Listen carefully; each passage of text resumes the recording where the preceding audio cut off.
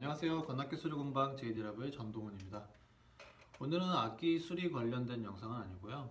색소폰의 스케일 연습 방법에 대해서 소개해드리고자 합니다. 네, 스케일 연습에 대한 중요성과 연습 방법에 대해서는 유튜브에도 많은 영상이 어, 있을 줄 압니다. 이번에 제가 소개해드리고자 하는 연습 방법은 어, 아시는 분들도 있겠지만 제가 한국과 일본에 있는 음대에서 어, 악기를 전공할 때 매일매일 연습했던 어, 그 스케일 연습 방법에 대해서 소개해드리고자 합니다. 그러면 바로 시작하도록 하겠습니다. 네, 스케일은 총 12가지의 스케일이 있죠. 메이저 스케일이든 마이너 스케일이든 여러 가지 그런 스케일을 이용한 패턴들은 다 12가지의 키로 어, 연습을 해야 되는데요. C 메이저 스케일을 예를 들어서 많은 분들이 하시는 방법이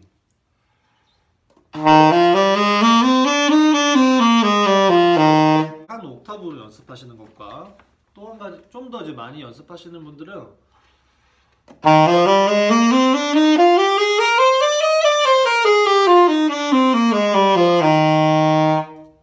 이렇게 두 옥타브로 연습을 하시죠.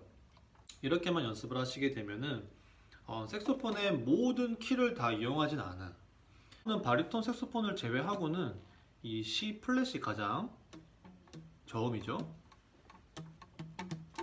그리고 아 포지션 프레절렛을 빼고 말씀드리면은 어, 색소폰의 가장 높은 음은 F 샵입니다. C 메이저 스케일을 연습하실 때 방금처럼 한 옥타브만 하게 되면은 이 나머지 3옥타브 있는 고음 그리고 그 밑에 저음 C까지는 불지 않게 되는 거예요. C 메이저 스케일로 불 수 있는 색소폰의 모든 음을 다 불어주시는 게 더 좋습니다.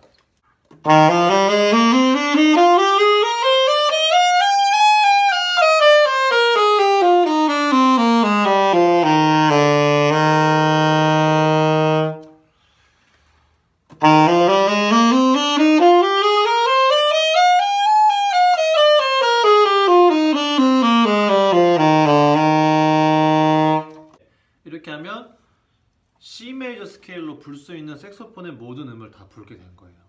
보통 이 3옥타브 키와 이 저음 왼손 테이블 키에 있는 이 저음 키는 어, 주로 사용 안 하시는 분들이 많더라고요. 이렇게 가장 저음에서 가장 고음까지 모든 키를 스케일로 다 연습을 하시게 되면은 어, 좀 더 색소폰을 어, 좀 더 자유자재로 이렇게 운지할 수 있게 됩니다. 자 그러면 키를 바꿔서 다시 한번 해보도록 하겠습니다. 이번에는 어, C 메이저 스케일 했으니까 F 메이저 스케일 해볼게요. F 메이저 스케일은 파부터 시작하는 겁니다. F 메이저 스케일은 시에 플랫이 붙기 때문에 가장 저음 C 플랫까지 운지해 보도록 하겠습니다.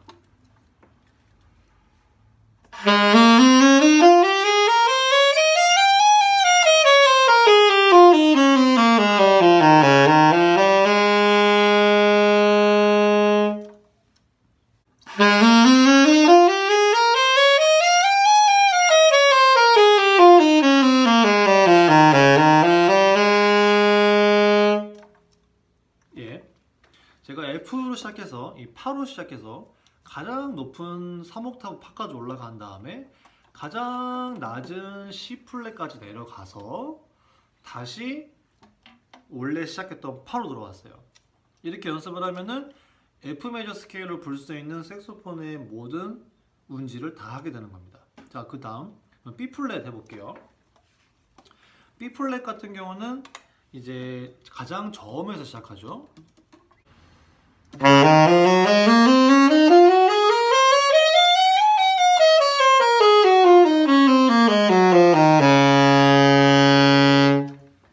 샵 계열로 가볼까요? 샵을 하나 붙이면은 솔에서 시작하죠.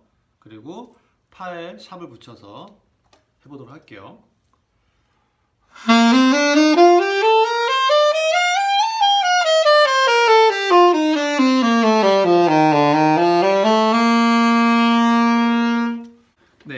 다시 한번 포인트를 말씀드리면 솔에서 시작해서 색소폰으로 낼 수 있는 가장 높은 음, 파 샵이겠죠. 파 샵까지 내고 다시 내려오는 겁니다. 가장 밑에까지 내려와서 C까지 내려오는 거죠. 그 다음에 다시 솔로 돌아오는 그렇게 해서 G 메이저 스케일을 색소폰으로 낼 수 있는 소리는 다 내주는 겁니다. 샵을 4개 붙여서 E 메이저 스케일로 해보겠습니다.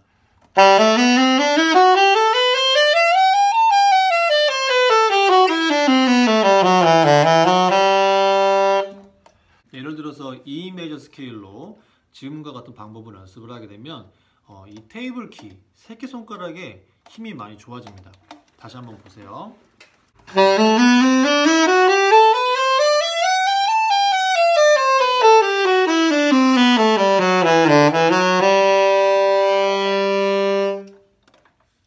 네, 이번 영상에서는 색소폰의 스케일 연습 방법 중에서 좀 더 실용적으로 연습할 수 있는 방법을 소개해 드렸습니다.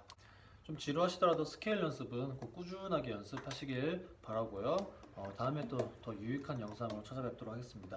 지금까지 관악기 수리 공방 제이드라고의 전동원이었습니다. 감사합니다.